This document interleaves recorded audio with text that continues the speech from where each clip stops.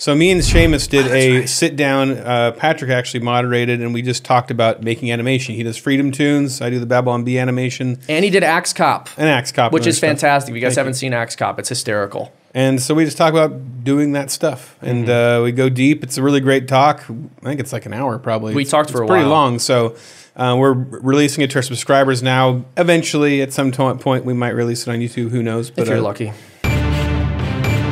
Yeah, Ethan. Hey, how's everybody doing Hey, today? what's up, everybody? We got uh, it's it's me and Seamus Coughlin. Of Freedom It is- Tunes. But I, I pronounced It's- that right? You know, you actually got it right. right, yes, yeah. and this Oh, is wow. it's me and Ethan Klein of H3.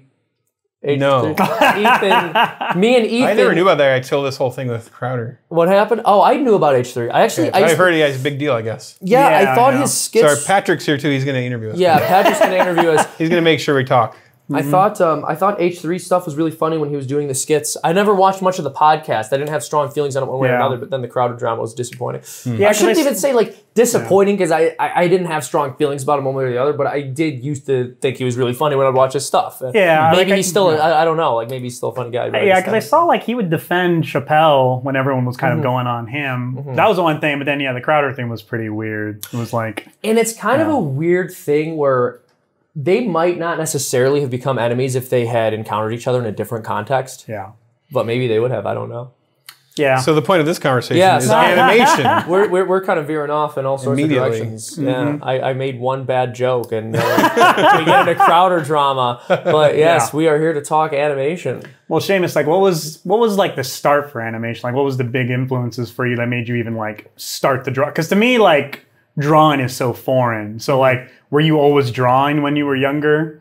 Yeah, when I was a little kid, I liked to draw a lot. So ever since I was, I don't know, three. And this is, it's an interesting question. When did you start drawing? Uh, there was a YouTube video I saw a while ago. And what they basically said was when someone asks that question, what they really want to know is when you got serious about drawing, because everyone sort of started drawing Yeah, when they were really stick little. figures. Yeah, and I loved drawing a lot as a kid. I don't know that there was ever one moment where I was like, I'm going to dedicate myself to this, but I just always loved cartooning specifically. Mm. And I taught, I began teaching myself to animate when I was about 12 years old. Like with what exactly? Was it like the flip books or like? So I purchased a copy of Macromedia Flash 3 off of eBay for like $30. And this would have been, I was 12 years old, so this was, I believe, 2007. And so it was already like a 10 year old software at that point. It was Yeah. really old, and we were running it on the family's old e machines computer. And I was drawing with the mouse. And over time, I improved slowly but surely. And then when I was 14, I did my first freelance gig, so that was exciting. I was just For who? Uh, there was a comedian who wanted me to animate one of his bits, and so I did. And it was like dirt cheap. I, he paid me like 15 bucks. Was he a known comedian or just like kind No, of I mean he, he's a funny dude. He does some independent stuff, but I don't want to associate okay. the poor fellow with me. no, no, sure. That's very kind of you. Um, yeah. And so I was just doing these little freelance gigs on and off for different random clients. And then when I turned 18 and graduated high school, I remember saying, I'm just going to start my own business. I don't want to. Were you ever like thinking of going to college for it or? Well, I had, I had. So basically, my high school had a television station. It was, it was very well funded. We grew up in a, a nice suburb, and the school had this TV station. It was like the cable access station for the whole community, and it was run by students at the high school. And so my teacher, Bill Allen, who uh, I will do the disservice of associating with myself, would always just encourage me, and he would really encourage me to get things done. So that was a big thing. I would have so many ideas, and at some point, he just started like ragging on me. He was like, "Oh, are you going to tell me like another idea you're not going to finish?" Like it, it was tough love, Whoa. but he would really get down on me about making sure I got stuff done. And so I really started getting things done, and it was a huge advantage because what we're doing with FreedomToons is one, sometimes two videos a week, and then I'm also working Yeah. with clients, and I'm managing a small team at this point, and my animators are fantastic. But if it wasn't really instilled in me that you have to get your stuff done quickly, even if it's a passion project, even if you're being artsy about it, finished is better than perfect ultimately. And Yeah. I think having that ingrained into me is really a huge part of what created myself and my brand and the things I've gone on to do. Yeah, that's the thing that's amazing about Ethan and Kyle is just the the amount of work just to push things out. Yeah, no, Ky- Kyle does a lot. yeah. And it's Ethan, would you did you have a moment where you realized animation would be like a thing you do? or like? I remember more- starting like yeah. I, I I do think that before I even could remember, I I know that I liked. I was fascinated by the idea of art and humor being one, and like Hmm. always like, I wanted my humor. well, I got into like Ninja Turtles and you know things being cool too, but like I don't know. I, I always had a fascination with art telling a story or being funny, and so that was something that from the beginning. I think I loved the idea you could draw pictures that make people laugh. Yeah. Were you ever like a funny guy though in class? Or are you more quiet? Like where was people the that humor? know me like that's the interesting thing about the podcast. That's the closest to like if you know me well there's kind of two versions of me. There's like there's subdued docile me where i just am not talking which is normal me. But then the side of that side of me comes out that's on the podcast where i'm joking around and stuff you know, it's like probably what landed me my wife on our date. And she, my wife's pretty hot, but like I made her laugh a lot. So I have a funny side to me. That's why we evolved that adaptation. Is Yeah. man. I mean, you kind of have to. It's- Exactly. That's all I got. the looks aren't going to go. no, that it never. Yeah. Yeah. So uh, yeah, but but I always loved expressing my humor through cartoons for sure. Hmm. Did you did you have an animation program that you were using at first, or were you more of just on the That's what writing cracks me drawing? up listening to this youngin. so my whole life, what I really wanted to have was a camera with the cell and be able to, you know, oh, man. I Oh, like the South afford all Park that. style, like I mean, I was pictures? raised like, yeah, I was raised in like low income housing and like, hmm. uh, you know, the stuff they don't talk about where poor white, mm-hmm. you know, they don't talk about that. I've never heard of that. Was yeah, it exists. Meth land. Well, no, and uh, even just a video camera, nobody we couldn't have those. And um, so just even wanted to use the click the camera, that kind of thing. So I had just tons of flip books. In fact, on my YouTube channel, you can see I, I, I compiled all of my flip books from age like probably eight or nine till age fifteen on this one video. Oh, I wow. Snapped all of my cell phone and uh, put them all together. Found out I'm- I had pretty good timing. It, all, it works pretty well. So How, always, how long would one of those take? Well, some of them I'd spend a week on uh, because I would draw a million different fights going on each mm. page. So like, yeah, just be this a whole brawl of people killing each other. that's challenging. So, and I will recommend this to everybody who's watching. If you go on Babylon Bee's YouTube page, there's what is it like, person versus geese or what's the Oh, that was title? that is, that was, I- for old great. time's sake. I did that when I got a new animation program on my iPad. I did that. Yeah, that's hilarious, and it's but it's frame by frame. I mean, it's on your Yeah, iPad, but you're not using frame. tweening or anything. or Right, any it's all purely just sketched. That is, uh, I'm not just It's saying called this. a goose self defense or something. Yeah, like yeah. Goose defense. Goose Defense. Um, that it is one of it's like one of the most technically proficient animations I've ever seen. I'm serious. Really? Thank you. Yes, in terms of the actual hand drawn, it's very well done. It's really well done. Yeah, that's what I thought. But I had no, no where to base it off of. Yeah, yeah. No, it's it's really good. So when I was like t- around ten was when we got our first computer with an animation program Mm-hmm. on it, and it was Autodesk Animator, I think. Hmm. And some guy handed it down to us. I met this rich guy who knew a Disney animator, and he wanted to help me out. And uh, I then I accidentally poured uh, orange juice all over the computer, destroyed it. And that's it when was you Sunny knew D. you were destined to be an animator. It was the When you night, it was poured- like late '90s because it was Sunny D that I poured all over it. And that was Oh, a big no. popular drink back then Oh man, in White Trash America. that is rough. But I yeah, Flash I got into my late 20s, Hmm. mid to, no early 20s.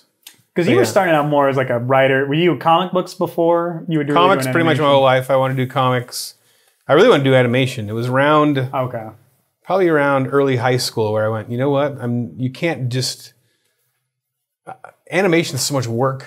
I want Yeah. to tell stories, so that's when I switched to comics. Hmm. Were you into comics really before, or like like were I was into Ninja Turtle comics. I didn't wasn't really into Marvel. Right. High school, I got into like indie comics, like black and white. okay? Yeah. Because that was kind of like that was when comics weren't cool or anything either, too, right? Well, hold There on, they're weird- not cool now. buddy. They're not. Yeah. well, they like they pretend were, like they are. are profitable now, though. Like Are back they? then, it No, was- for sure. Yeah. I think it's interesting because I considered this at some points too. There were like larger animated projects I was working on that people would say like, "Oh, you should just try to convert this into a comic or a, Graphic a- a little children's book or something like that." And I remember thinking people have recommended this as well. Oh, with your political cartoons, why don't you just do panel cartoons?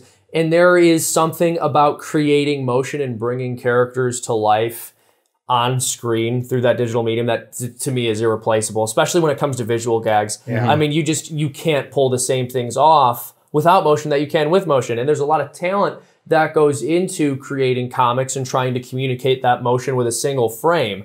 I think there's something there that I don't want to understate Right. Yeah. or or poo poo, but being able to have a character like deck another character in the face and then going through and determining, well, am I is this going to take one frame or two frames of in betweens, or how quickly is it going to happen, and sort of adjusting that timing until you get something that's really funny is just it's indispensable to me. I enjoy doing it so much that I don't think I could ever move to just doing comics. Yeah, like I feel like animation to me, like, cause I, I've had more experience with like film, like live action, but like to me, animation is like the director's medium. Like you have so much control Yes. over location to their the act, the the characters' faces and everything. It's like you're not. It's almost like let it's it's uh, more uh, working together with people, but you have so much more control over it in a way. It, it is a director's medium. It is not a producer's medium. Because Yeah. It is so expensive. it is so expensive. I believe it was Andrew Stanton who said that we get nothing for free. And that's true in animation. There's no prop that you can find to put into your project. I mean, you, you can't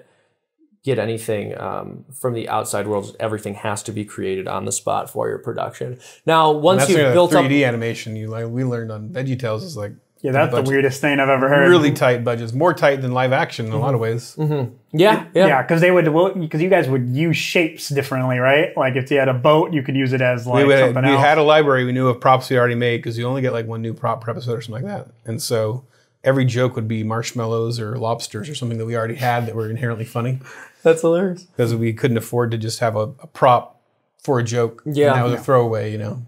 Yeah, it's an interesting thing. So with what we do on FreedomToons, there are libraries we end up building up, and, and usually those libraries are built up for characters specifically. So we have a couple characters who we'll reuse or base new models off of, hmm. so that we don't have to completely make a new rig from scratch every time. And a lot of that is a huge part of animation that I think people don't realize. Yeah. A lot of what you're seeing in a low budget production had to be taken from elsewhere. So a lot of the heavier lifting happens early on when you just don't have those assets. yeah, like like you have to build a race, right? Yeah. like a, like Yeah. a whole ethnicity of cartoon all characters. people, I don't know why you made it about race. That's a little weird.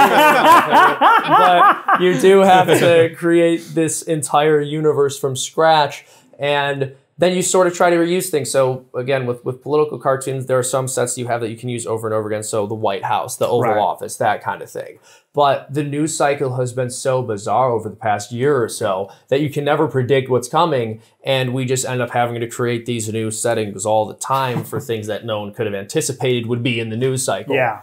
So like I was gonna ask too because I was interested because you two both have like very different drawing styles. Mm-hmm. Did you guys have like an influence of that, or is that just how you naturally drew? Really, because like like as Seamus, I've seen yours is almost like kind of miniature people, I guess, in a Yeah, way, yeah. and then like Ethan's is almost a little more like to scale. Like, do you guys like? Did, was that a conscious decision, or is that just how you naturally draw? That's a good question. So I was very strongly influenced by Peanuts as a kid, Hmm. and also by The Simpsons as well. So it's almost kind of a weird blending Mm-hmm. Yeah, of those yeah. two styles, maybe. But it's not as if there was ever a conscious decision as to go, these are going to be little people. I just think that there is something inherently cartoony about like short little Yeah. fat characters.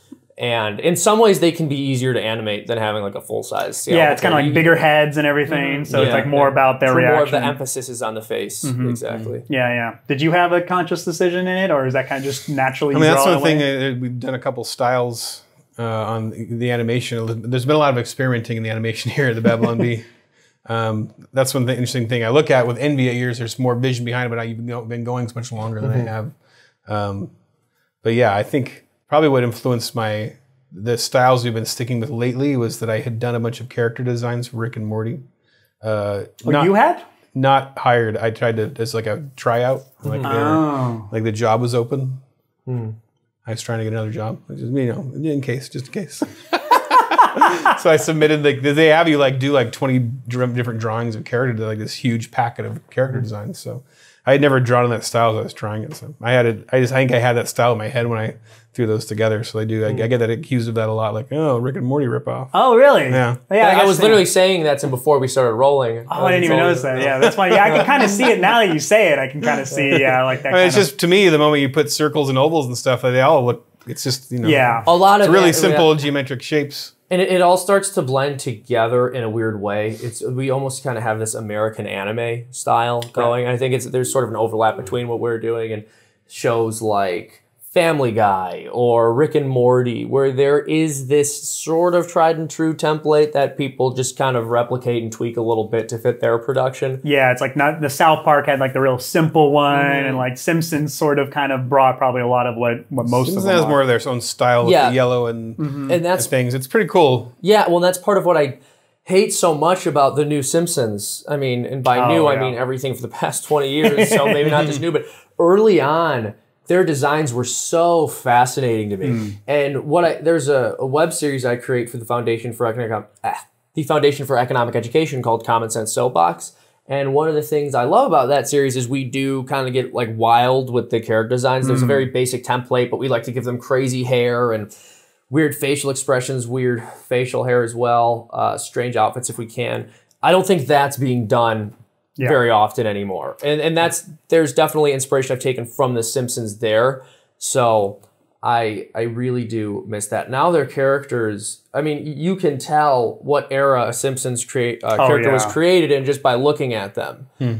Yeah, I felt sad when even like sometimes I was South Park and when the really good animation came in, it felt kind of dirty in a way because I liked I liked when it was like just a really bouncing around and simple kind of way they, they had in the very beginning. Well, so part of the appeal, and I've said this before, I have to say this every time I bring it up, and we said it on the show last time, that part of what's disappointing for, I think, me as a Catholic and just you guys as Christians generally, and you as a Catholic as mm-hmm. well, is that they have such brilliant political satire, but some of it's just so filthy that you can't Yeah. watch Yeah. it. But part of the brilliance of South Park early on was when you watched it, it felt like something you could make. Yeah. So the viewer at home would watch this and think, oh, this is kind of something that I would put together if I was able to. There was this accessibility within the style that just didn't exist anywhere else. And now that's not so much the case. They still do what they can to make it look like it's made out of paper mache, but everyone knows it's CG at this point. not. Mm-hmm. But in, in reality, o- the only episode to be done fully in CG of the official series was the first episode. Everything after the first episode, paper. yeah, Yeah. with, with actually, I'm sorry, actually done with paper is the first Cutouts, episode. yeah. Everything else after that was CG, but they did a really good job making it appear simple enough Yeah. So that it still seemed as if it was made on. It's like the joke paper. was how bad it looked. I think mm-hmm. was kind of a, a funny way, and that's how they were able to be taken seriously because they were they knew they were that bad. Well, that's the only way to get that thing done in a week. yeah, Yeah, it's the only- well, With writing, because you have you seen the documentary about I know that they do them all in a week, but it's interesting because early on they did a lot of that week is writing. yeah. yeah, yeah. That's something that shocked crazy. me about that documentary is like they- they're like it's like they're fat over halfway through the week and they're still they're Yeah, just they're all starting to hand off the script. These guys are just w- sleeping in the office waiting to be given what to they're gonna craziest animate thing, for three man. days. Well, and it's interesting because a lot of it is again just having a built-up library and reusing the Yeah. things. They have the same main characters, and they'll bring celebrities in to lampoon or new characters, but they reuse a lot of the same assets. And part of what we do with FreedomToons, again, uh, much shorter videos than South Park does, much lower budget also though, so go easy on us. Is we create a video every week and sometimes two a week, and often it is created the week that we're releasing it. So two we released two videos last week and both of those videos were made the day before we released them and that was crazy to pull off the reason it was possible is because i have the best team on the planet i've said this before in terms of low budget animation i genuinely think i'm running the best most efficient studio for what we're able to churn out in the amount of time that we have it's But those and- are and it's- 22 minutes. I'm just but no, no, no, of course, no, no, one hundred percent. I mean, what South Yeah. Parker's doing is unfathomable. Twenty-two minutes in a week is it's it's insane. I okay, can't wrap my head around it. I don't know how Yeah. many people I would need to do that. I don't know what kind Yeah. of budget I would It's need to do that. crazy. Yeah. Uh, and so that's part of why they go for like ten weeks and then don't. Up Yeah, don't- don't go back. Die, yeah. because they would die. Twenty-two minutes of an even if it's very simple animation. Twenty-two minutes a week. That's crazy, and especially when, like you said, It they're just writing, some of the writing, episodes writing. suck. Yeah, when they kind of fall apart at the Yeah. end or something. Yeah, Yeah. They, they definitely knew that too. Yeah. It's like, but that's actually something interesting I've been noticing in your videos, Seamus. Is like you're almost always the only writer credited. Is that like was that a conscious decision or is that like a time Yeah. decision sort of thing? It's it's a little bit of both. So there have been different seasons in production, and for a little while, uh, I would have like animators would just pitch jokes to me more often. It's just happened to be the case that lately I've been writing all of these. There was I think a period of time about two years ago where more jokes were, were being pitched to me by people who work for me, and it's it's not as if I just stop taking their ideas. It's just there's a rotation of the people you work with over time, especially on a low budget production. And I also think that I changed my writing style has changed over the years too. And I think a lot of what I write, there are there are many things I write that I know are only going to be funny once they're visualized. Mm. Like it's really hard, and I'm sure you're familiar with this doing animation. Like there are some things that they're really funny in your head, but if you write it out on paper, no one's going to get it. You just have Yeah. to make it. Yeah. And so it can be difficult having writing partners, especially non-animator writing partners, when so many of your jokes function that way. Not all of them, but like a good enough number. And so it, it's mostly been me. I wouldn't say entirely for that reason, though, that probably contributes. I think a lot of it has just been a need to get these things done quickly, not having much time Yeah. to bounce things off of another writer, and also a, a desire to keep the stuff relatively consistent. Yeah, it feels like that way. I mean, Ethan and our, our writer Erluck Weinstein. Erlich Weinstein. Um, He what- disguises his name. Yeah, like he he almost writes almost all of it, Yeah. and then you, but you kind of have more of the executive role in a way. Do you? Do you There's have- a lot of them. We'll, me and him will sit down, smoke a cigar, and we'll come up with ideas. And there's a number of ideas. He, he, came with it or I did, or sometimes Kyle did. You know, like a number of them. I mean, I, the concept was my idea, and we'd come up with all the beats together. But he's just a master of getting it all down on paper fast, which Yeah. I struggle with. I sit there and I'll lay on the floor, and then I'll drink something, and I'll smoke a cigar, and I just pace because it's so. It drives my mind nuts that there's all these options Yeah, I on know. the page, and I'm I'm committing to one, and he's really good at just going for it. yeah, like because you you you kind of like say an idea is good or not. Do you have like a thing where you, or is it more of like just you know it when you see it, it's good? Kind of, yeah. Yeah, I know hmm. when I see it. I don't know. It, no, it's interesting. I, I experienced the same thing. Even the day that I'm uploading early in the morning, I'll get an idea for a gag, and then I think, is this going to work? Do I have time to put this in? So we did a video a little while ago where um, it was about the gas crisis and the fact checkers that coming in and yeah. saying there is no. And the video ends with them pouring gasoline on him, lighting him on fire, and going, talk about gaslighting. Like after they spent the whole time like gaslighting him psychologically. Yeah. And that joke came to me like maybe two hours before I uploaded. Wow. The- I can't even remember what the original punchline is. But then I went outside to take a brief walk. And as I was walking, because I, just- I just needed to relax, I, I pulled an all nighter basically, and then woken up really early to finish it. It's like, all right, I need to just take a walk, and when I'm done, I'll go back home, put one or two finishing touches on, and upload it. And then while I'm walking, I get this idea, and I'm like, oh no, like I have to do this. I can't not use this gag now that it's coming to me because it's a better ending. Yeah. And so I just like texted a couple friends to bounce it off of them, which which I do. Again, I don't have writing partners, but I have a couple friends who I will just like neurotically lambast with uh, with messages, or maybe lambast is the wrong word, but just inundate with these. Do you th- what about this gag, or, or do you think this script is funny? Or so I'll, I'll seek feedback from people I know can get back to me quickly. And so I was just messaging them, what about is this funnier? And then asking my animators, what do you think is funnier? And everyone seemed to agree that punchline was better. So then I just sat there and put it together with like the hour and a half that I had, and we got the thing up, finished and uploaded. So yeah, that's the most to me. Like trying to do some writing is feedback is like Mm-hmm. seems to be the thing that keeps me out of the void. Like the void of just like myself to bounce off is like the hardest thing. like that gets me held up the most. and Quality feedback's the Yeah, is hard to find Yeah. Mm-hmm. because I have gotten some horrible feedback over Yeah. the years, and there are certain videos that had I listened to the feedback I was receiving, would have just bombed. They wouldn't have been good, mm. and so it's it's a mixed bag. You have to have people you really trust, and even it, it happens where. Sometimes really funny people who write really funny jokes give really bad feedback. Mm-hmm. I, I've had it happen before. And so there are people who I respect as writers who I think are very funny, but they just won't get your vision for a particular thing or it, it mm. doesn't quite fit their style, so they don't like it. And you have to just be confident with your own vision. You have to be able to say, okay, this guy's funny and I respect him, but that doesn't mean he's the end all be all, and that doesn't mean he's right about whether this gag is funny. I'm going to go with it if you really believe it is. Yeah. That's tricky. And then, yeah, when it comes to writing, there will be a, a video I'm writing, and there's like five or six different videos it can become. You, know, you have like a nugget of an idea, and you start writing out the beginning, and then you have like five or six different directions you can take it in, and it stinks because it's it's hard to come up with an idea.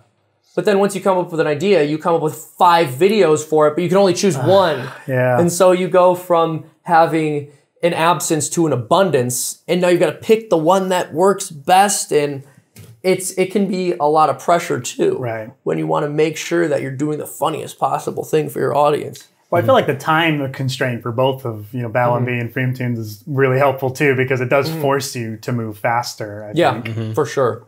How often do you guys read? It's like once a month about? We're about we bet we were doing once a week for a while there. We uh, it's more like every other week now. Yeah, Mm-hmm. But yeah, it's more than once a month. It's for sure. It's every at least every two weeks. Every two weeks. Yeah, I was strolling through uh, yesterday, and it, it seemed like there was some space between them, so I wasn't sure. But you guys also don't only upload animation. That's the thing. You guys Yeah, have a little that's more breathing be- room. yeah, And I think Last- that's- last few have been slower. Yeah. Well, Some of them a little more complicated. and that's not bad. And we had a book. We I just started to start working on a book suddenly and like drop some animation. So Yeah, I mean that's not bad, especially because on your channel you guys have a pretty consistent stream of content coming from other avenues. It isn't all animated. Yeah, some of it is the podcast, animation, yeah. and so that gives you the advantage of maybe being able to take a little longer on a specific video, which isn't bad. I mean Mm-hmm. that that that can be a very good thing, like the one you guys just released about uh, a quiet place too. Mm-hmm. I thought it was really funny, and the thing about it is it was relevant. But it wasn't like this week's news cycle relevant. It was something you could Yeah. foresee because that's a movie that's going to come out and then make good gags. I think that's a really good strategy. Yeah. that one you, worked out for us. do, you, Yeah. do you guys ever think about things that can be more like like can we call it a little bit like evergreen kind of things here, like animations? Like, have you done any of those with Freedom? Because yours A lot seem of- mostly a lot of them seem like they're very timely as well. Over but- the last year or so, but before this last year, a lot of the stuff was evergreen, and I still try to like splice between evergreen content. So at least at least one video a month, sometimes two, will be pretty evergreen, mm-hmm. and those do not do as well as the others on the date of release. But in the long run, they tend to mm. outperform them. Hmm. So we did a couple. I think over this last uh, month, maybe maybe in May or June, we did a few that were not about that week's events, mm. But I thought had staying power. So we did one on like why boomers ruined everything. Right. That's the one I'm thinking of now, and that's just going to be relevant for as long as boomers are here and being Yeah. talked about.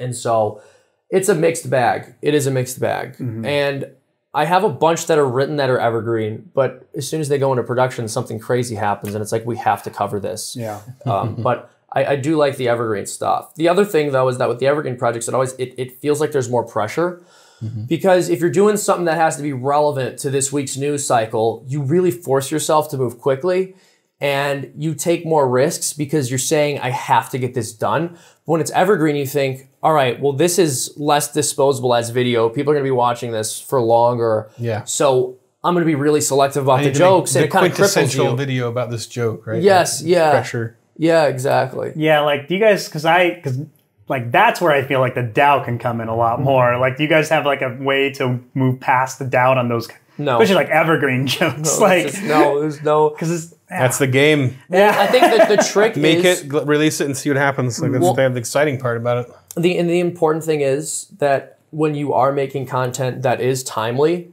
you still have to have jokes that are not. right. So people have to be able to go mm-hmm. back and watch and say, well, this is funny because this character's actions were stupid, or this was a decent slapstick bit, and not, well, I don't remember this event, so this means nothing to me. Which I think is probably more likely to happen with very verbally heavy humor, which is hmm. what I used to do more of. And now a lot of the stuff, there's a lot of verbal stuff, but a huge portion of it is just trying to create funny animated visual gags. Yeah, like I remember hearing some. I think it was Matt Groening, The Simpsons. I think it was the, the guy from The Simpsons Groening, talked yeah. about like um, if it's if it can't be if it can be done in live action, why do it in animation? Yes, amen. I, I Yeah. completely agree. I Yeah. completely agree. which I feel like you guys have done mostly with with everything here. Like I can't imagine any of the Babylon Bee animations like a Well, live action Or Axe Cop. or Axe Cop Yeah, for no, sure. seriously. It's, Well, the KKK one, but it's hard to get a lot of guys to dress up in the KKK outfits. Well, See, that's Sounds like like, there's a hold little on, hold separation. Yeah, but, but that is actually something that still works a lot better in animation, not just because you can't get people to dress up like that, but there's a world of difference between seeing an actual Klansman and seeing a cartoon of a Klansman. They're more Klansman. sympathetic as a cartoon. Yes, Yeah. they're more approachable, much yeah, like, more I heard- approachable. yeah, Bill Burr was even saying he's like, I can't get live people to yell at kids, but it's like I can do it in animation. That's a good so point. it's Yeah, like, it's yeah, true, it, it's it can be true. A little easier. yes, there are certain things that may be seemingly mundane in animation or could be possible in live action, but it still works better animated. Hmm. And this again this is one thing the South Park guys have talked about. Trey Parker and Matt Stone have said you could not kill an eight year old every week on a TV show and have people laugh at it. But Yeah. with animation, especially if you have a style as simplistic as there, the, the more iconic your visuals are, the more the easier it is to get away with doing those kinds of things. Mm-hmm. Yeah. Do you do you guys feel like because I know you said South Park is like you, like Ethan's described as wanting to take a shower afterwards, mm-hmm. but do you guys feel like you have like lines that you don't want to cross in animation in a way? Yeah. Because both of you have done very violent things, but it, there is like definitely a certain line I feel like you guys don't exactly cross. Yeah. I mean, the South Park guys famously say that nothing's sacred, and I Mm-hmm. don't think they buy that. I don't think anybody really believes nothing is sacred. There's Yeah. Mm-hmm. a line that they wouldn't cross. I think. Yeah, exactly. Well, they clearly believe that free speech is sacred. Yeah. So, so there is something sacred to them. I think for me, the lines that I won't cross are generally those dealing with sexuality and sexual humor. I'm very careful about that. I definitely don't like having any kind of nudity in the cartoons, and part of it is because I believe that sex is sacred and it's been so degraded in our culture that I don't want to further contribute to that. And so people will say, how come jokes about violence are okay and jokes about sex aren't? And there's a few reasons for that. I think a violent joke absolutely can go too far, be too gross. And at that point, it's unacceptable. But violence is not this beautiful thing that's been degraded by our culture. it's a fundamentally nasty thing. And one of the important utilities of comedy is to help us cope with the more troubling realities of life. And so having this over the top goofy slapstick achieves that perfectly. But making sexuality ridiculous on screen and further degrading our mm-hmm. cultural consciousness surrounding it to me isn't what I want to use my comedy Yeah. for. Right. Yeah. exactly. Making light of sex has an impact on the culture. Yes. Differently than making, not making light of violence in the sense of if you make like an over the top gore fest movie Mm-hmm. that's silly, where a guy's got like you know his hands are replaced with chainsaws and he's, it's just no one's gonna, who's going to imitate that. Mm. Yeah.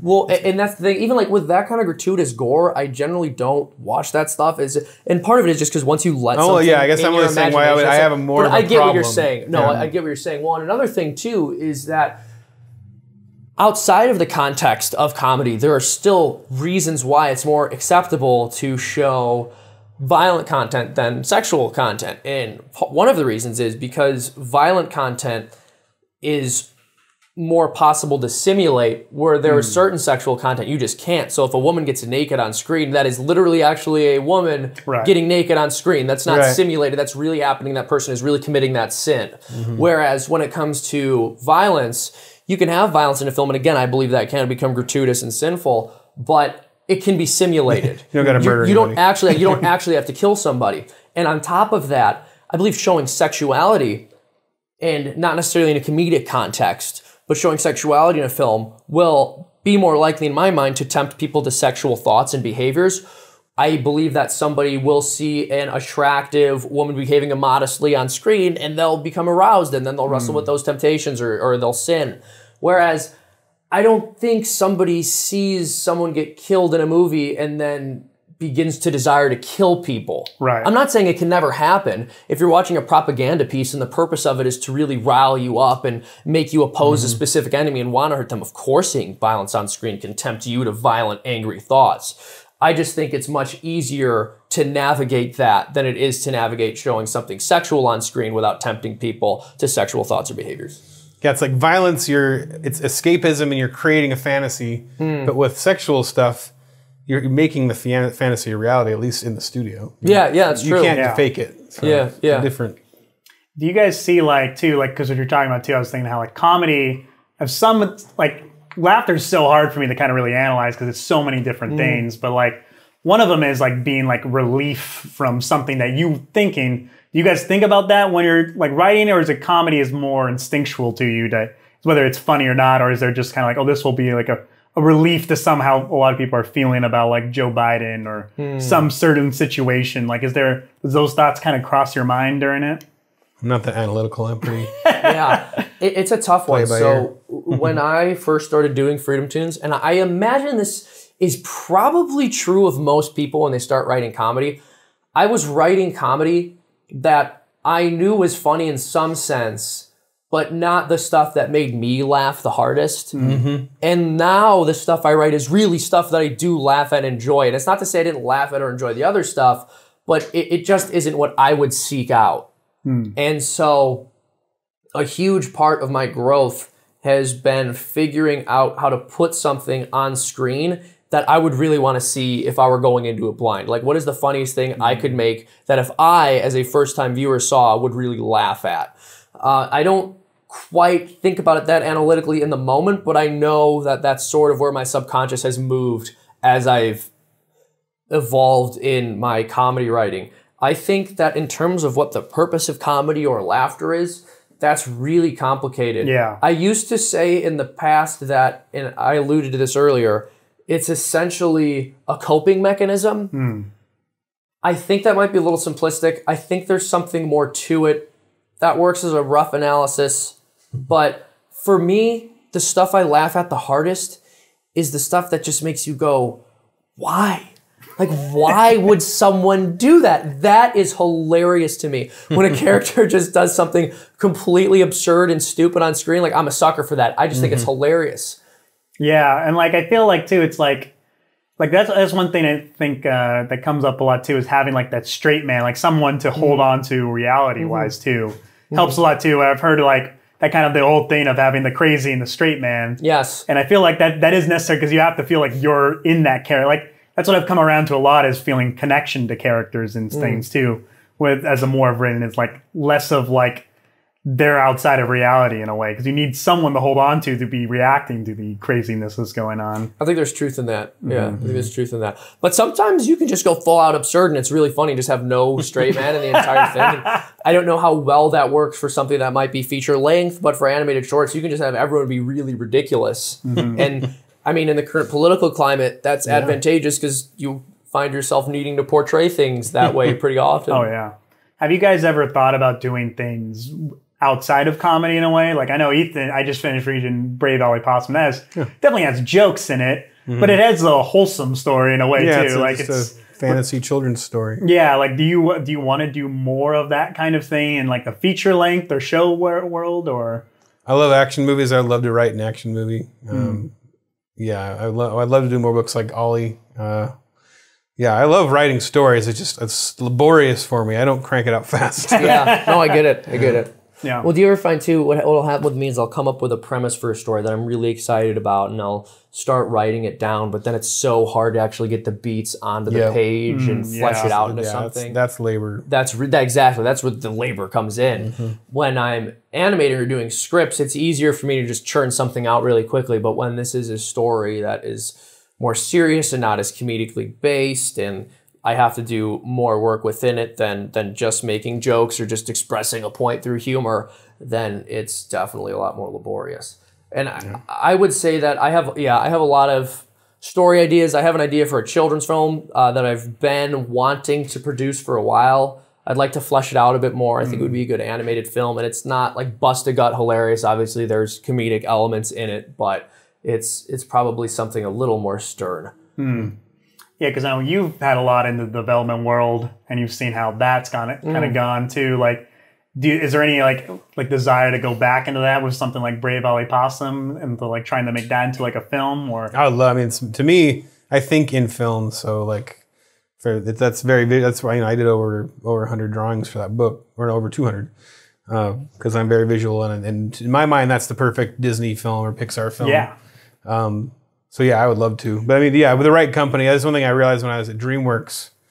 There's real paranoia at that place, and they play it so safe that their mm. stuff is coming out so bad. Mm. Mm. Uh, yeah, That'll kill you. yeah, Yeah. it's rough. And I've suffered from that too, believe it. I mean, I know that the stuff I do isn't necessarily tame, though I, I think we're pretty like PG at worst, PG thirteen.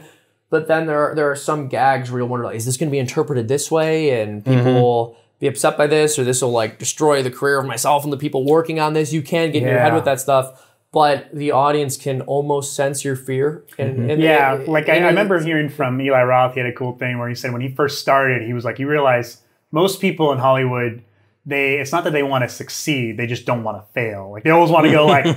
I, I, how could I have known? Like Yeah. that was, I did everything possible. So it's mm-hmm. like you have to almost take the risk in order to even get to close to succeeding. Exactly. And th- there have been a few times in the past where there, I I think there were like one or two videos that I really wanted to do. And, but in the moment I thought like, well, maybe I shouldn't.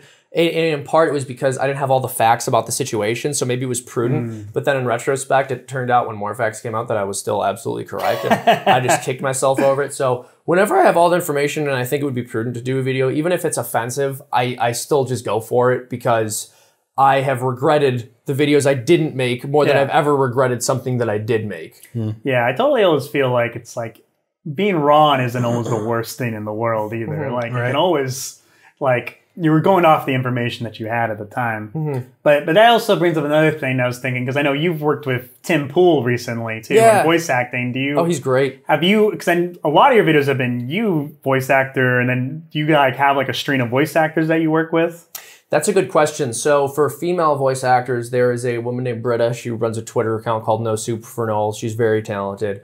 I use her. She did. I used her on like one or two. Yeah, you guys have used her as well, and I told her that she needs to stop immediately. to this stuff. But she's very talented, so I use her usually when I need a female voice. Sometimes my friend Liberty, uh, whose wedding I was just at yesterday, as a matter of fact, will will do What voices her for name's. Liberty. Yeah, her name is Liberty. and She got married on the Fourth of July. Uh, she had to, of course. and so she'll do voices sometimes. And I would say beyond that, it's mostly me. Michael Knowles has been great too. Oh, wow, He's done a couple voices. Yes. He's good. He's really good. I was surprised by how Well, he well started he could voice acting, act. right? Yeah, Yeah. yeah, He still is. He doesn't believe any of his opinions when he's on the show. I, I've talked to him behind the scenes. And he's It's all an act. I'm, I'm kidding. I'm kidding. Um, no, he's actually super cool. I just did his show a couple weeks ago, and it's going to be coming out in a few days. Yeah, he's he, and, he, and he is, of course. I was kidding. The same off camera, but Yeah. I think ultimately, I did the voices initially just out of necessity, and then as the channel really grew. Even though I had access to a larger talent pool, it was still a necessity for me to do the voices because we had to do them really quickly. And I mentioned to you, I came up with a different ending for one of my videos and mm-hmm. then had to do it within two hours. And you can't wait on another voice actor Yeah, yeah. to do something like that. And so I've basically done all of them. But yeah, I've been surprised. Like Michael Knowles is a really good voice actor, and Tim Pool is a really good voice He's actor. great. He is Fauci is fantastic. Yeah, yeah, I really enjoyed him. And- And he and him, he and I actually improved um, a, a couple videos right after that that I'm excited to release. They're Oh, really cool. funny. Yeah, yeah. He's he's a funny guy. Yeah, he seemed like he really held his own, especially like just just coming in. I didn't even recognize his voice. So. Yeah, I know. I expected to be really fast talking and fast paced, and he Yeah. really slowed it down for him. yeah, So. yeah. Yeah, I know Ethan, like reading, like on Brave Valley Possum, the voices are like Oh yeah, Crazy. I did the audiobook. like amazing. So, Thank you. were you always doing voices like when you're younger too? Was that kind of like a thing for you? Yeah, I just lived in cartoon world. It was my it was my world. So Mm. yeah, just voices and facial expressions, and to me that was just natural. Hmm. My dad was like that too. He was very expressive and silly faces and stuff. Yeah, because I remember you told me how, and I read in the, your blog too about your dad would like take you out and like tell stories. Was it all when he was telling stories in like the van with you guys?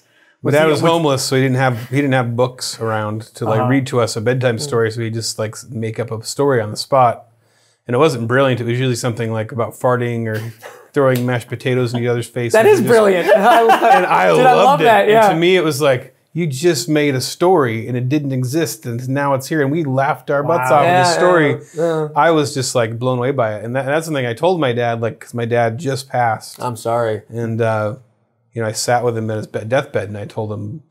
You know, I, I read him this blog where I said, you know, because he told me he used to just cry, to, cry himself to sleep at night in his van because he thought he was just a failure to us and he had nothing to, uh, to offer us of any value. And he left us. You know, he just he just left it around when I was like twelve. He just moved away, and uh, you know, and, and I don't even think it dawned on him that like the gift that he gave me when he just sat there and made stories up uh, on the spot, and uh, I, I was even like the stupidest thing ever. I remember he made some dad joke about the about Smokey the Bear, uh, the song Smokey the Bear, Smokey. He did a song. He just like started making up a like a Weird Al spoof of it called "Smoking a Bear," about what you know, how you, they're hard to light, but you can light- smoke them anyway or whatever. He just started making a song about smoking bears, and I thought I wrote a full like 10, 10 verse version of it. I was so excited. Oh man. So that and so uh, That's literally your comedy distilled Yeah. into Yeah. one story. Smoking stupid a bear. smoking a bear. Yeah. Do you do you how much influence? His book Bears Oh, Want Bears to Kill You. Oh yeah, my, dude, that's it's brilliant. like how much influence do you think that had on you too? Because I mean, I, I remember the moment when my dad told me in a Star Trek episode, he's like, somebody writes him walking through the door. Like, like how much of that influence he was like an artist? Like him making up stories and like sharing like that could actually. I think happen. it was just like a general attitude of it's okay to be a weirdo. Hmm. My family was always okay with just being weird and off kilter. And I looked back through some of my sketchbooks, and my mom never said really. She never really got upset or like tried to stop me. And I had some crazy crap in my sketchbook. I Like had, things she should have called a counselor over. no, frankly. literally. I had like gunfights in the school hallways, but I just thought gunfights were cool. There's just like students like shooting each other. And to me, it was just like I like John Woo, and I thought, wouldn't that be funny in a school hallway? But this is before kind Columbine was one of the first big. Not before Columbine, it was uh, in Eugene, uh, Thurston. There's kind of the. First, Oh, that's kind of. I mean, semi close. that was right, like two hours from us. It was so Yeah, close to home, and that was one of the first massive big media ones. Uh, but that was before. I mean, I was I was like late, I think senior in high school or something. So Yeah, but I feel like at that time too, it's like like you were just so like, you're just a innocent kid who before that. Yeah, yeah. just goofing off. yeah. And what's interesting how things affect children. I was six when 9-11 happened, and I remember it. And I remember, of course, being a horrible You're so much younger than I am. I know. Six- You're Uh, six. yeah, I, I was six, and but one of my friends What have I was done with my life? at another school, and He's like ahead of me. And he's, I don't know about that. You've had stuff on television. Axe Cop was true. brilliant. Yeah. I seriously no, I loved It Axe Cop. successful. I loved Axe Cop. um, but yeah, I remember a friend of mine telling me this story later. But as a kid, the teacher turned on the television and was showing them. And so for a while, he was just drawing airplanes hitting buildings because he didn't like understand the emotional impact that had on people. It was just something he saw as a kid and wanted to imitate. And so, yeah, it's it's just interesting how children will see things in a way and they'll be influenced by things very differently than an adult will when it's the same oh, event. yeah. And in some situations, like the, the one I just described, it's very morbid. But in mm-hmm. other situations, like the one with your father, where he's just telling you these stories and not thinking much of them, it can have an incredible impact. And I mm-hmm. think that's a huge part also of why adults need to be very, very careful in terms of what they say to children or around children, because you can affect them in ways that you would never possibly understand. Yeah. And it's also a reason why people creating content aimed at children have an unfathomable responsibility to be as careful as they can with it. Oh, yeah. And unfortunately, what a lot of children's content is being used for is pushing the gay agenda. Mm-hmm. Like you look at this Blues Clues stuff, and you have a drag queen singing to kids about the Pride Parade, and Yeah. it's horrible. Uh, like I remember in middle school, as I used to sub middle for middle school a, a few uh, before COVID, and like kids would just be repeating things they saw in cartoons like mm-hmm. constantly, and I was like, they have no idea what they're even saying. It was mm-hmm. something from like mm-hmm. Shrek, and I was just like, like it's interesting. Do you do you guys think about like the the attitude that comes with that, like with kids and everything? Like, 'cause I guess most of your content has been more like adult centered, but there is definitely kids probably still watching your guys' stuff as well. That could be true. Yeah, I definitely like. I don't encourage kids to watch, and it's political, so I think it's assumed that this is for adults or at least like older teenagers. And when I break down my demographics, there are very, very few actual kids, if any, watching.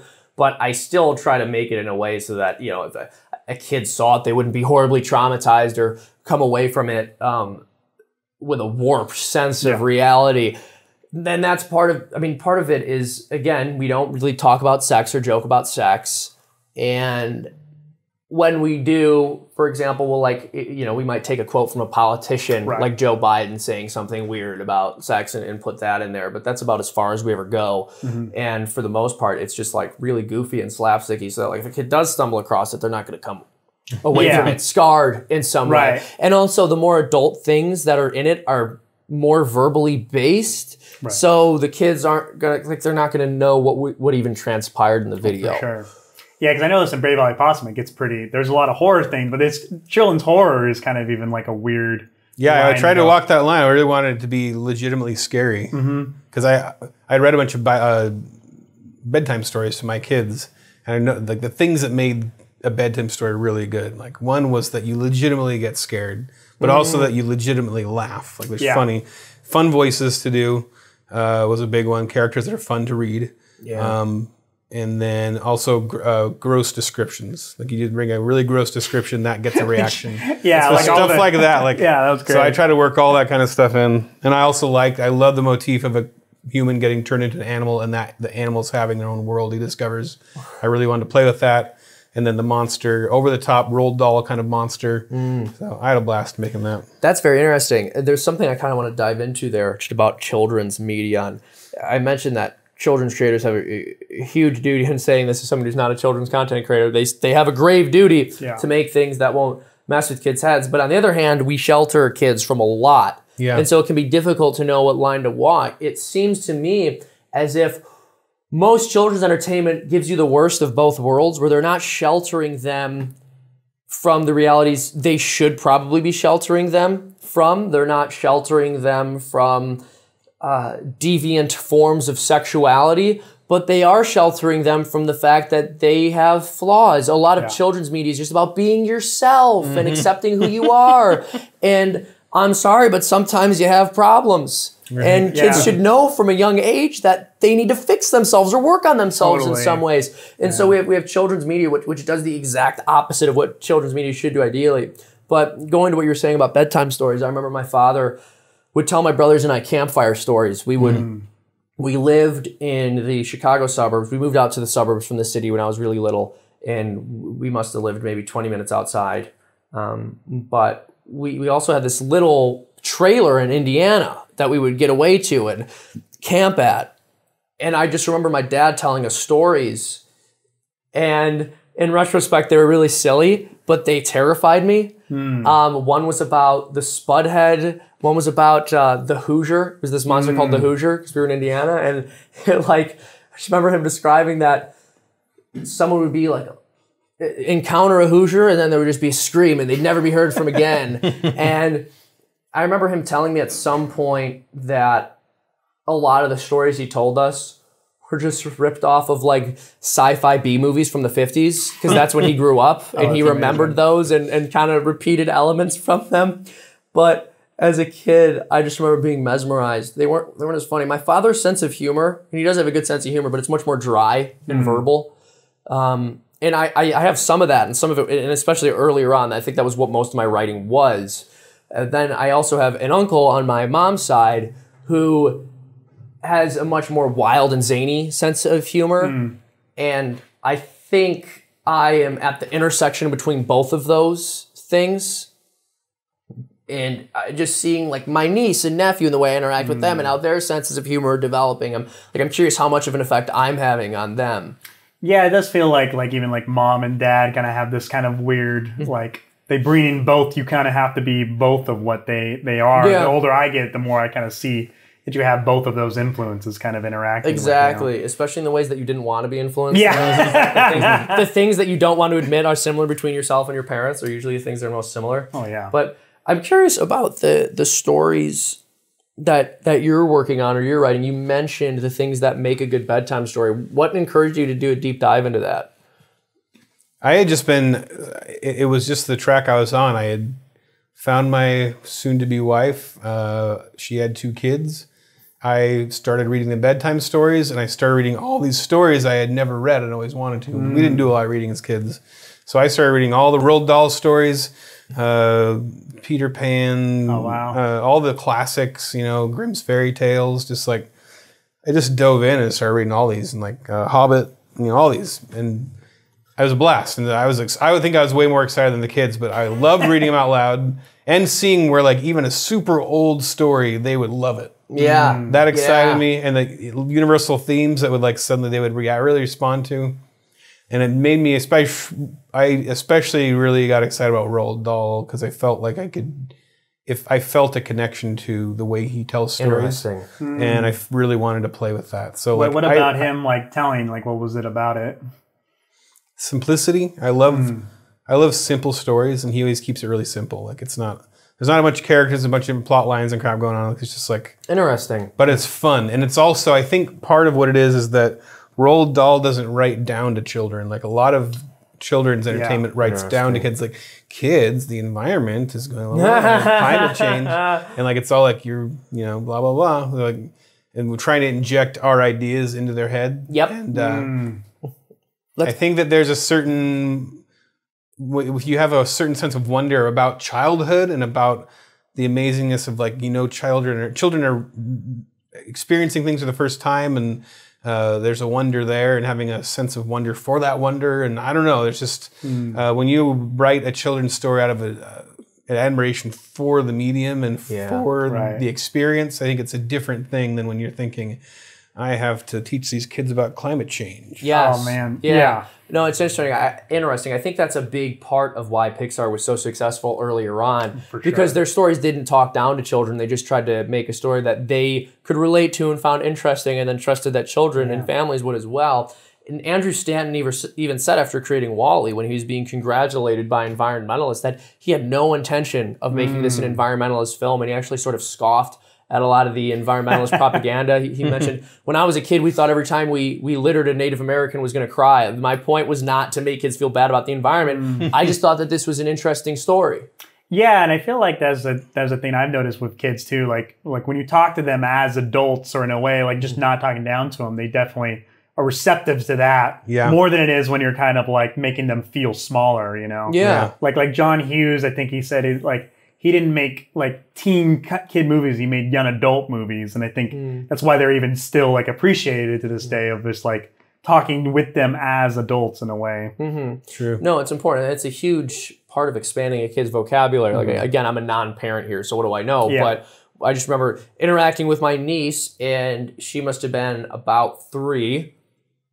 And I would just speak the way I normally would, and every once in a while she would ask what a word meant, and it was kind of adorable. But you could also explain Right. it to her, and even simple words that you sort of take for granted. You don't think of. So I just mentioned to her that uh, her mom was going into labor with a younger brother, and I said something like, oh, "I think I have a hunch she'll come over with a little brother." She's like, "What's hunch? What is hmm. hunch?" And it's like, "Well, hunch is like that's when you think that something is going to happen," and then she starts trying to use it in a sentence. It's, it's Oh, very man. very cute, but yeah, it's a huge part of why you, you can't talk down to them. And I know oh, that when we were kids, our parents didn't, and my mom was a nurse, and so like she would use medical terminology around us and just like words that we had no business using as little kids, but it was still it didn't hurt us to know them. Sure.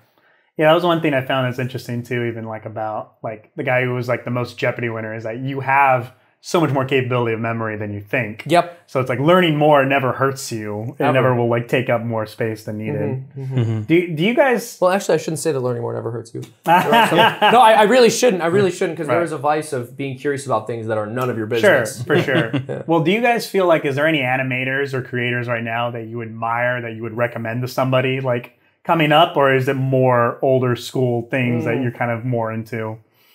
who's good who's good Yeah, who's making stuff now that really impresses you? Yeah, I'm trying to think. I'm blanking out because I'm on the spot. I know I have a ton of respect for uh, is it Jindy Tartakovsky or Gendy? The guy that made Samurai Jack. Oh Okay. yeah, that And was that, uh, crazy animation style.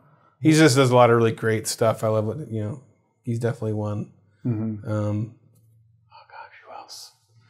Yeah, I don't know. I can't think off the top of my head. I know. I know. I mean, there's a million amazing artists out Right. there, that, but they're working on you know Disney stuff. Yeah, like is there any animator animation like shows or movies you would tell to like a young person wanting to get into animation that would kind of like spark their creativity? Yeah, That's what would really you even re- yeah, what would you even recommend? Um, I mean, I got like I would recommend Peanuts. The stuff I know works Yeah. for kids and is friendly to kids.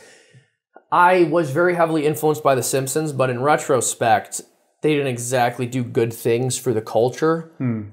I wasn't allowed to watch The Simpsons until I was a bit older, even, Right. and and it seems really tame now because of everything Oh, we have on television. But at the time, the stuff was edgy, like, probably for good reason. Mm-hmm. I think in terms of animated visuals, I would I would recommend really I would recommend that kids watch stuff that is just extraordinarily well animated like The Lion King Yeah. or some of the Disney stuff from the Disney Renaissance era just because you'll know what the gold standard is. Yeah, I, There's Who Framed Roger Rabbit's one that I just Oh, That's man. incredible. love watching that. And, and so Amazing. it's weird because with animation, there's these two tiers. Where it's like there's animation that's imitating the world, and then there's animation that's imitating animation. Yeah, And I think with what we have to do with low budget productions, a lot of it is like animation imitating animation. Like this is not Disney quality stuff. It's animated, it's moving, it's compelling and interesting, but we're trying to make these characters express themselves in a way that is readable not necessarily in a way that matches up perfectly with how people move through the world. For sure. You guys, ha- would you guys have any advice to someone getting into animation? Don't. Like, don't. that's I tell people that who want to write. Where I'm like, if you can do anything else, do that because it will be a life of terribleness. Like I remember I had one person. I sent a script to one girl, and she was like, I didn't even finish it. It was so bad, and I was like, that's like what you will deal with on a consistent basis. I had no. It's it's a good question. I mean, I was being facetious. I think that if you have a talent for it and you enjoy it, look, I I mean, I would go for it. I really would. Just start learning as early as you can, and it is never too late. So Right. you know, best time to start was 20 years ago. Second best time is now. As But they the, say. yeah, the weird thing about this question is to me, everybody I know who's like is like us. Mm-hmm.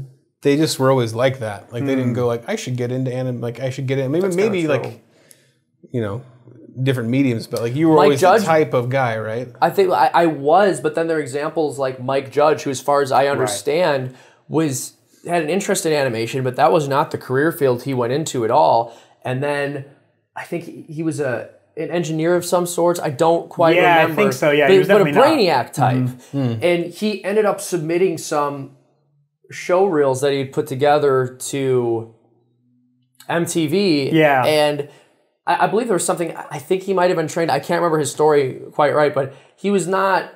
He was not somebody who you would traditionally expect to come from an animation background. And when you hear interviews with him, he's much more even keeled than most animators. Oh, Yeah. But he's probably the most brilliant character writer Oh, of our generation, and his animation is is fantastic. I love King of the Hill. Mm-hmm. I, I actually consider King of the Hill to be the best animated Hmm. sitcom of my lifetime, probably. Now, Yeah. granted, most animated sitcoms have existed in my lifetime, excluding Right. like the Flintstones and the Jetsons, but the writing for it is so subtle and so brilliant and so character based. So my fear is that if we tell people, you know, you weren't weird like this from day one, so don't Oh, pursue yeah, it, then yeah. we lose out on the future Right. Mike Judges and, and Right. those types. Yeah, it's hard because like I feel like when I've met writers or creators, they have this sense. There's more of a job sense to it than mm. like a like a facet. Like the people I've met who are like very like I don't know like the mystique is so big. It's like they usually never stay in it because it's because when when I would get into it, it's like film sets and things were so mundane and mm. slow. Where it's like the people who really like it end up liking the mundane and slowness of it and the like meticulous natures of it. Hmm. I guess my point is like people that like guys. I think of guys like me, you, guys, Doug TenNapel, just creators I mm-hmm. know who just create. We can't not. That's the Yes, thing. that, that's It's absolutely like when you say don't, like if, if that's an option for you, if you can just Oh, like I could not or I could, it's like well that's different because like, I just can't not. Like I have to. yeah. No, I hear you. I don't know how to not be that. that's It- how I am. And it even gets to the point where, like, once I am used to a project, then I feel like I have to be creating something else outside Mm-hmm. of it. That's a huge struggle. Um, and part of what mitigates that is that with FreedomToons, the news cycle changes so quickly. So even though it's the same cartoon, we're often doing different things with different characters. But I've even got that itch where it's like I've been doing this for seven years now, and there are other projects that I'm mm-hmm. interested in, or other things that I feel like I need to do on the side just to keep myself healthy in a creative sense.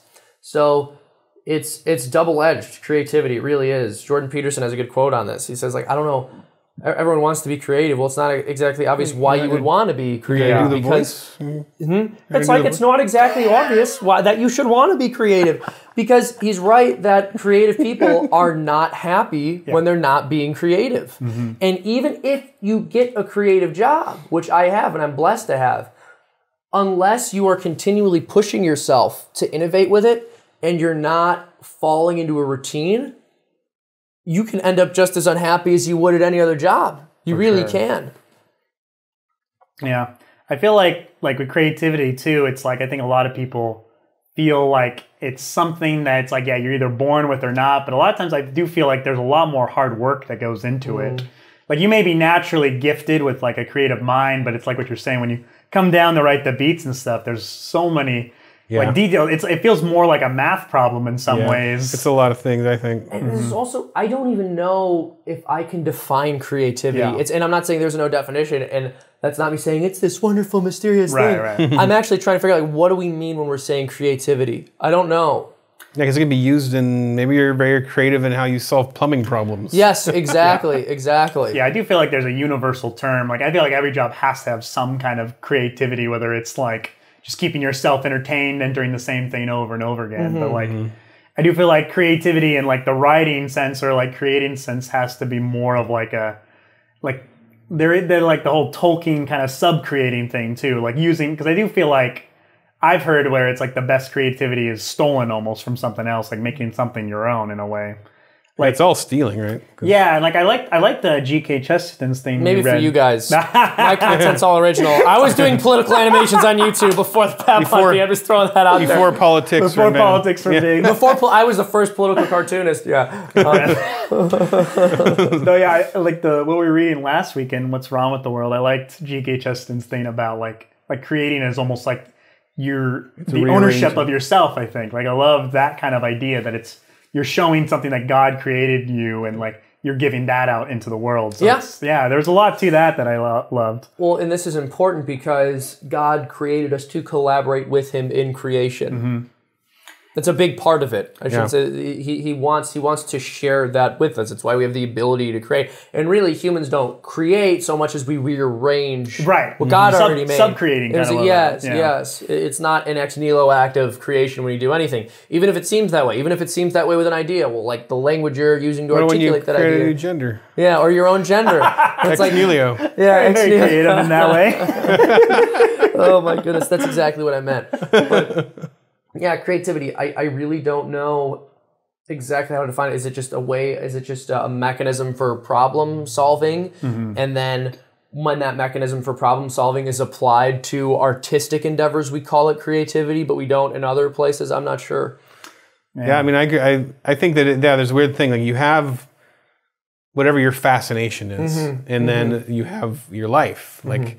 I had a fascination for art, drawing, but I also had. I grew up in a family where we moved almost every year, so I had a really hard time making friends. So my friend was my sketch pad, and it was my way of making new friends. They'd see the drawing and they'd want to talk to me. Mm-hmm. Yeah, Uh, interesting. and then I also had a mom who, you know, my parents divorced when I was like eight, and she was this hard worker, and she worked us hard. So I was like trained to work very hard, and I think that in, informed my work ethic. Because I, you know, I look back on high school and like there was tons of creative people that were good at art, you know, like at, at that level, at high school level. And then like you know, you move on, and some of them got pregnant, and some of them Yeah. did drugs, and you know, it's just all. Let's not put getting pregnant on the same level as doing drugs. I mean, uh, getting you know, getting Actually, my mother's been pregnant, so I say I resent that. getting getting pre- pregnant at age fourteen kind of thing. you know, okay, like, that's that's what I mean. Well, enough, well, there's two where it's like I've seen If it too, yeah, where like some writers are way better than me, but it's like I feel like I'm the only one writing those. Still, there's a lot of that Yeah. too. Where like That you're is just doing absolutely it. right. Absolutely. Yes, yeah. Um, in some ways, the best person is the best person who's doing it, Yeah. right? I mean, we live in a marketplace now, especially with the YouTube algorithm requiring you to constantly churn things out, where quantity has become quality. And in some ways, I lament that because it would be great to just create something that I could spend a lot of time on and was really polished and upload that and be able to retain the same viewer base. But then on the other hand, being forced to constantly churn things out has helped keep my work fresh and creative. And so when you look at people who are extremely talented, but they almost never make anything, you really wonder if you can say that person is more talented than someone sure. who's continually churning out content because someone is actually making something. I mean, what is a gift that you don't use? Yeah, that's the thing I've thought about a lot too. Because I've I've seen people who are just so good, and then it's just they don't want to make anything though. Yep. They're kind of like like you say, it's like it's not almost like the drug or pregnant, but what it, it's like they just their lives they have other priorities in a way Right. too. It's like I think part of creativity is prioritizing creative things. I think hmm. too. And a lot of people are hung up on what's going to succeed. Like they think they have this one project, they think this is going to be their Lord of the Rings. Ah. Right. And there's one thing I learned about Axe Cop is that you can't choose your successes. So I, I had hmm. That was just one of a bunch of stuff I was making. It was the last thing I thought was going to be successful. That's So funny. And it was the you know you just don't get to pick what's going to. So just make stuff. Yeah, well, and it's a weird thing too, where we see that on a smaller scale too, just within the same project. There are some FreedomToons videos that I've made, and I was sure they were going to be a hit, Yeah. and then there and they weren't. And then there's other videos I made that I didn't think were all that great, but the audience liked it. Right. Yeah. You can never. Yeah. I like Or how at you least said the that. algorithm did. Yeah, that's fair enough. That's The fair enough. algorithm gods. Yeah, Yeah. you got me there. You got me on that one. Well, one thing I've been thinking about a lot too, because it's like I mean I've done This will be the last question. Yeah. I got a babysitter I got to release soon. um, one thing I've always wondered too is like, do you guys feel with the way culture is heading, is it going to be as crazy where you can't like be associated with the Babylon Bee or FreedomToons in the making of things? Is Are- it not that way already? like that's what Yeah. I'm wondering. Talking though. about- We're already, is it- is yeah, we're already, shifting we're already both finished in the animation I know, and Exactly. Yeah, like- Fortunately, I never planned at working at one of those studios. My goodness. Yeah. Oh man, I really want to be treated poorly and have somebody else own all of my IP for the rest of my life. Please, Disney, oh, let me man. work for you. But, Yeah, I think I did get a taste of that when I worked at DreamWorks on VeggieTales and just realized, like, I don't know, this is not a great environment for. right. Well, and this is the thing. It is if you want to go into animation, you might think that the best thing in the world is to have the name brand recognition of Disney or Pixar on your resume, and maybe it's good to do something like that for a year. Though I would dissuade you from from Right. working for those companies because I think they're genuinely evil. But I would I would argue that if you are a creative person. It is ideal to work at a smaller studio. Right. so Yeah. with my They're workers, turning brilliant artists into cogs. That's it. Exactly, mm. exactly. And so the people who are doing work for FreedomToons, we have a very small team, but because we have a small team, they all have their hands in everything. Right. And they're all doing the thing that they want to do and that they're good at. It, it's not like we're giving you this one small piece on the assembly line. Yeah. And there is a little bit of that where like you're better at this, so you're gonna work on this, and the person who's better at that is gonna work on that. But there's a lot of overlap between these things. Whereas when you're in a large studio, it's like you're just rigging, you're just modeling, Right. you're just doing uh, armatures, and I think that can really kill somebody's creativity. You don't, Yeah. generally speaking, people don't go into these industries because they want to do one small thing on an assembly line. Yeah. Yeah. But that's Maybe. what it is at a big studio. It's, su- yeah, it's, it's soul sucking. Mm-hmm. And then, you know, most are working on some remake of like some, you know, exactly. It's not even like an exciting Brave Little property. Toaster remake or something, you know, Yeah. whatever it is. That, that actually I would wouldn't be as that. bad. Yeah. I would watch My Little Pony remake number nine, whatever it is. Brave Little Toaster was dark. Was it? Remember at the beginning where the, Bizarre. I rewatched it recently. I think I do The- remember a dark um, part of it.